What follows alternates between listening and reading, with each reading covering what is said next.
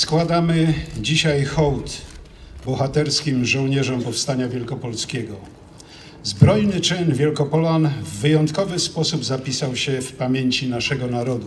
Jako jedna z nielicznych insurekcji Powstanie Wielkopolskie powiodło się w całej pełni.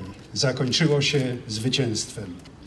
Prastara dzielnica naszego kraju, kolebka polskiej państwowości została wyzwolona spod jarzma zaborcy. To powstanie rozbrzmiało też jako ostatni dobitny akord w zmaganiach toczących się od 123 lat. Wielkopolska wygrała dziejowe starcie z germanizacją i na zawsze powróciła do macierzy. Miało to ogromne znaczenie dla całej odrodzonej Rzeczypospolitej, która umacniała świeżo odzyskaną suwerenność i musiała walczyć o kształt swoich granic.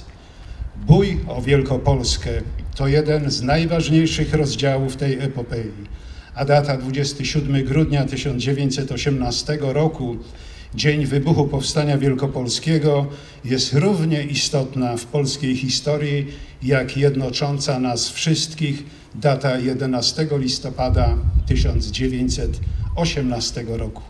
Tablicę poświęconą rocznicy stulecia odzyskania przez Polskę niepodległości i wybuchu Powstania Wielkopolskiego odsłonięto przy wejściu do budynku Zespołu Szkół Ponadgimnazjalnych imienia Franciszka Ratajczaka w Kościanie głosi następująco w setną rocznicę wybuchu zwycięskiego powstania wielkopolskiego i odzyskania przez Polskę niepodległości bohaterskim mieszkańcom ziemi kościańskiej wdzięczni uczniowie, mieszkańcy i władze powiatu kościańskiego. Wykonał ją Bogumił Płucinek z zakładu kamieniarskiego Bodziu z Kościana.